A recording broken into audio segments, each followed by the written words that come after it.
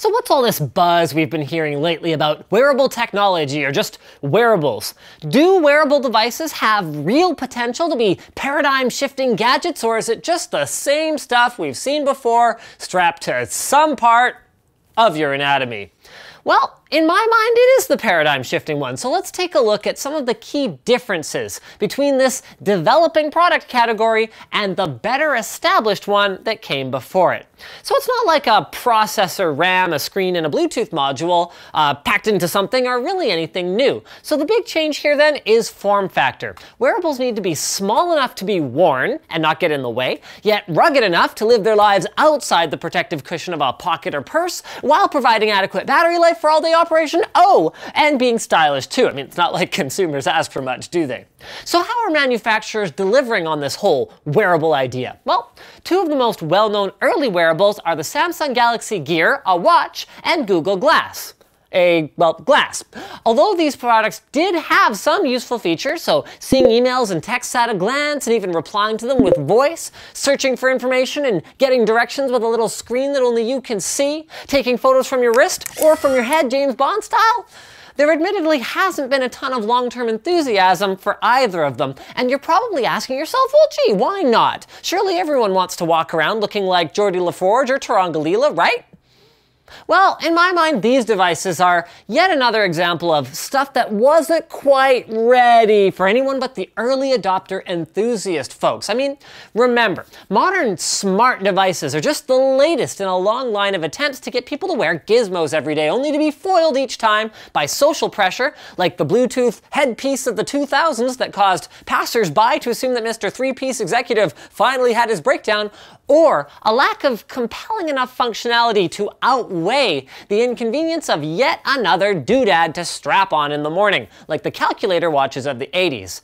But to me, the reason this time is different is because the technology is mature to almost the point where wearables can add more convenience to your life than they take away. And because our electronic devices do so much to improve our lives every day, they've become practically ubiquitous. So the use of one on the street doesn't instantly turn you into a Dorcas. These two things open up a whole lot of new possibilities that combined with solid marketing for the devices might just get wearable tech into the mainstream this time. But once it gets there, what's it gonna look like? Well, here are some examples. Microsoft is working on taking augmented reality to the next level with a wearable pair of goggles that it calls HoloLens, which will project applications and data onto your actual physical surroundings in the form of a hologram. HoloLens goes beyond the capabilities of other smart glasses we've seen to actually let you interact with your 3D canvas for design work, productivity, communication, and even gaming. And there's been a lot of action in the wearable world geared towards athletics and fitness. For simple lifestyle improvements, there are comfortable bands that monitor useful stuff like burned calories, steps taken, and distance traveled while biking, jogging, and otherwise going about your day, as well as your sleep habits, by the way. And if you're into more extreme stuff, let's say you're a skier, for example, Oakley's Recon goggles will display your current speed as well as your position on the trail, while also connecting to your smartphone and showing any missed notifications on a heads-up display. Pretty freaking cool stuff, and it's only just the beginning. And if you guys enjoyed this episode of Fast as Possible and you want to learn more about the future of wearables, check out the video description link to this AnandTech article by Stephen Barrett that we based our video on. Speaking of video, if you enjoyed this video and want to learn more about the world in general through the format of watching videos, then you should definitely check out lynda.com. They've got thousands of online courses with more added every week. Instructors who are experts in their field. You can learn at your own pace, on your own schedule. There's no like, yeah, at 9 a.m. you got your like photography class, and then at, you know, 10 a.m. you got your coding class. You can just kind of sit down and relax and enjoy the content however much you want. And what's cool about that is that plans start at just $25 a month. That's right, a month. So you don't actually have to pay per course.